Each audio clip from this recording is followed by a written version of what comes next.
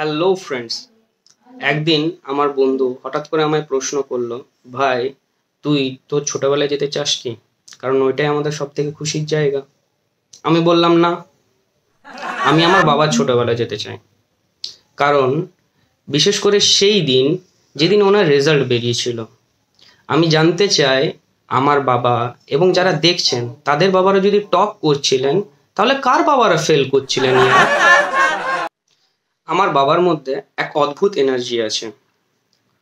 উনি পরের ছেলেদের প্রশংসা করবার জন্য খুঁজছেন। আমার লাইফের সব থেকে খারাপ রবিবার হলো যেদিন বাবা বলেছেন, আমি খাবার বানাবো, তুমি রেস্ট নাও।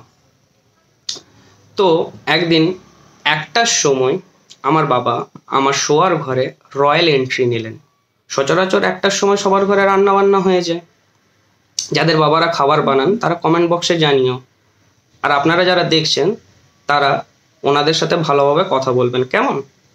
তো এন্ট্রি মারার সাথে সাথে বাবা আমাকে প্রশ্ন করল, কি খাবি?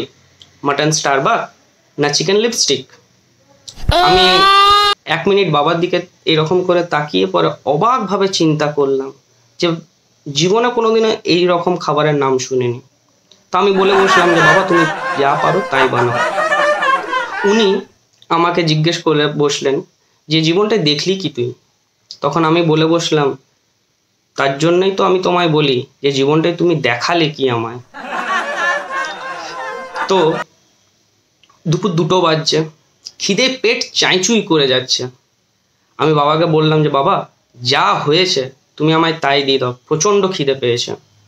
তখন উনি বলে বসলেন, মাটন হচ্ছে শখের খাবার। বুঝতে পেরেছিস? তোর মা যে রান্নাগুলো করে, সেগুলো একদম ভালো করে না। বুঝতে পেরেছিস? মাটন সবসময় হালকা আঁচে খাবার বানাতে হয়। তো আমি এরকম, তো উনি আমার বাবা, বুঝতেই পারছেন। তো তখন সুপারম্যানের মতন উনি বলে বসলেন যে, তোর মা রান্না করতে পারে নাকি? তখন বাজছে প্রায় প্রায় তিনটে।